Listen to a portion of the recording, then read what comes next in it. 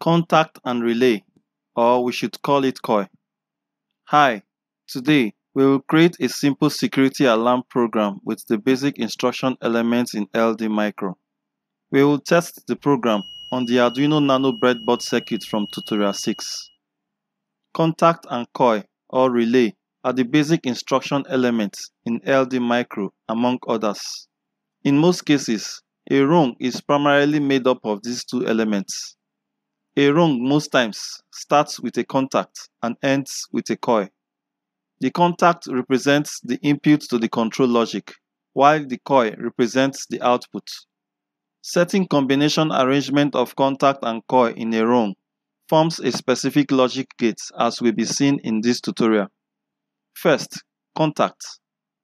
Contact receive input signal from both internal and external sources.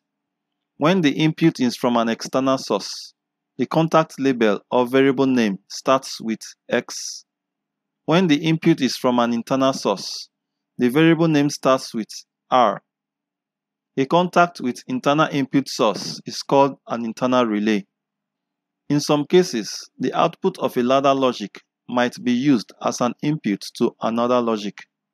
In such cases, the variable name of the contact will begin with Y which is also the beginning alphabet for coil variables. A contact is a software type of a push button switch, which allows the flow of electrical current through it when pushed. The initial state of the switch before being pushed is considered as normally open, since it allowed the flow of electrical current through it when pushed. There are other types of push button switch that allows the flow of current through them until a push occurs to interrupt the flow. Such switches are termed normally closed. The push button switch operation applies to the contact instruction element of LDmicro. The graphical representation of a normally open contact is and that of a normally closed contact is the normally closed contact inverts the signal from an input source. When there is no signal from an input source to a normally open contact, its logic output will be false. But when there is a signal to the contact, its logic output will be true. The reverse is the case for a normally closed contact whose logic output will be true when there is no signal from the input source and false when there is a signal. Now, let's consider the coil. A coil or a relay outputs the result of a ladder logic to an external device such as LEDs and buzzers or an internal relay which could further be used as input to a ladder logic. A coil must be the rightmost instruction in a rung. A coil that outputs the exact signal of a ladder logic, either true or false, is called a normal coil, while the one that reverses the logic signal, that is, true becomes false and false true is called a negated coil. Other types of coil are the set only, whose function is to set the output of the coil to only true if the logic result is true. The reset only, represented as and used in combination with the set only instruction, whose function is to set the output variable from true to false when the logic result is true and the T-trigger used to detect a rising edge of a logic output. The T-trigger coil output will be true when it detects a rising signal edge and will become false when it detects another rising edge. These instruction elements can be inserted into a ladder diagram from the contacts and coils slash relays option of the instruction menu. Once a contact or a coil is inserted into a rung, the negated option can be selected, and its source can be changed to either an internal relay or an output pin on MCU. For the coil, additional options of set only, reset only, and T-trigger can be selected. The other option of Modbus is only relevant when the ladder diagram includes Modbus communication. Now let's consider the various logic gates that can be created with contact and relays. Insert a contact and a coil in a rung just as in tutorial 2. Name them switch 1 and lead 1. Double click on the coil to open the configuration window. Click on the checkbox beside negated and click OK.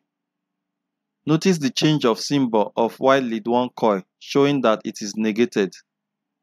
From the simulation menu, select Simulation Mode and again start real-time simulation. Observe the signal reverser when you double-click on X switch 1 contact.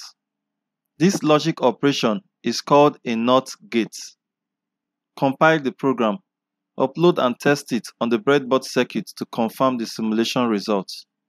You can also negate X switch 1 contact instead of Y lead 1 coil in this room to achieve a somewhat similar result on the breadboard.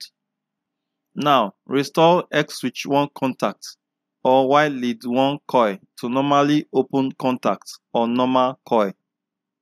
Insert another contact between the contact and the coil and name it switch 2. Simulate it and double-click on X switch 1 and then on X switch 2. Observe that Y lead 1 is only active when the state of the two contacts are true or 1. You may also test this on your breadboard circuit and observe the same results. This logic operation is known as AND gate. A NAND gate is formed when Y lead 1 coil is negated in the AND gate. For a NAND gate, Y lead 1 will always be on and only goes off when X switch 1 and X switch 2 are active. Reverse the negated Y lead 1 coil to normal.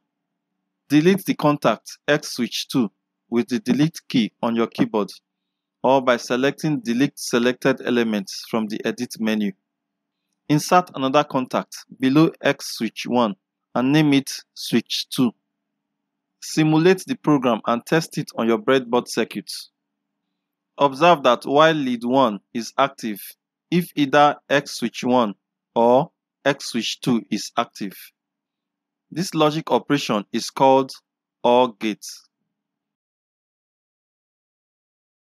Negate Y lead 1 coil of the OR gate to form a NOR gate. Y lead 1 is always on when there is no signal from X switch 1 and X switch 2.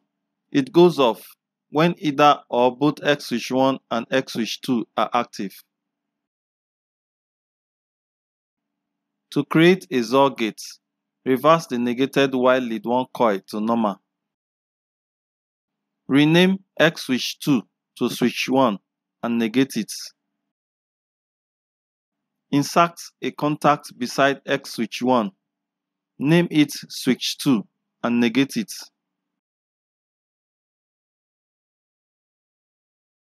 Then, insert another contact beside the lower X switch 1.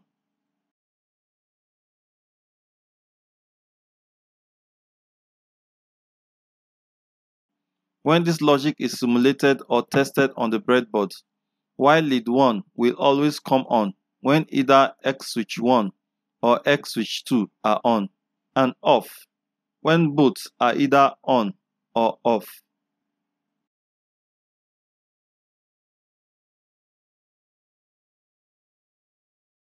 Now, reverse the upper X switch 2 contacts to normally open. Negate the lower X switch 1 and X switch 2 contacts to form X NOR gates. This logic gate turns on Y lead 1 when both X switch 1 and X switch 2 are off or on. Y lead 1 is turned off when either X switch 1 or X switch 2 is active. These logic gates can be combined to form a complex control logic. Let's create another program to demonstrate the use of the set only and the reset only instruction elements. Delete every element leaving a contact and a coil on the rung. Rename the contact as Start. Double-click on Y lead 1 and select Set Only. Click on Insert Rung After from the Edit menu to insert a rung below rung 1. Insert a contact and a coil to rung 2. Rename the contact as Stop and the coil as Lead 1. Select Reset Only before clicking the OK button. Simulate and test this program on the breadboard and observe that the first press of the first push button switch turns on the LED and leaves it on. Also, observe that there is no further response on the subsequent action on the switch. The first press of the second push button switch turns off the LED. No further response will be observed from subsequent action on the switch. This type of ladder logic is commonly used in industries to program the control of electric pumps alongside other safety inputs. Finally, set up your breadboard with the circuit diagram shown here. Create the simple security alarm logic shown here in LDmicro. Assign input-output pins of the Arduino Nano. You can download these files with the links in the description below. The simple security alarm demonstrates how the various parameters of contact and relays could be utilized in a ladder program. More input switches and output LEDs can be added to this program as required. Comments in rung 1, 3, 6 and 8 are added to the ladder program with the insert comment element from the instruction menu. In rung 1, Y alarm enabled LED is latched on at startup using the set only parameter of the relay with a one-shot rising element. The one-shot rising element generates a rising edge pulse at the program startup. It can be inserted from the edge option of the instruction menu. In rung 4 and 5, X door switch 1 and X door switch 2 contacts are used as inputs in the ladder program. Their signal latches on relays Y switch 1 LED and Y switch 2 LED respectively with the set only parameter of the relay. In rung 7, either Y switch 1 LED or Y switch 2 LED contacts will turn on Y alarm activated LED, the Y buzzer, and latches off Y alarm enabled LED. Finally, the normally closed X alarm reset contact will latch off Y switch 1 LED and Y switch 2 LED and latch on Y alarm enabled LED. When the program is uploaded into the Arduino Nano breadboard circuit, you can observe that the alarm enabled LED is immediately turned on. Limit switches with three terminals are used as door switch 1 and door switch 2. The terminal labeled as common is connected to the negative power supply line and the terminal labeled as NC, abbreviation of normally closed, is connected to the input pin of the Arduino Nano. Press either switch 1 or switch 2 or both and observe that their LEDs are turned on while the alarm enabled LED is turned off. Also, observe that the alarm activated LED and the buzzer are also turned on. Press the alarm reset button and observe that everything that was turned on is turned off and the alarm enabled LED comes on. In our next tutorial, we will use the timer instruction element to improve the functionality of the security alarm. Thanks for following through on today's tutorial. Please subscribe to this channel if you've not already done so.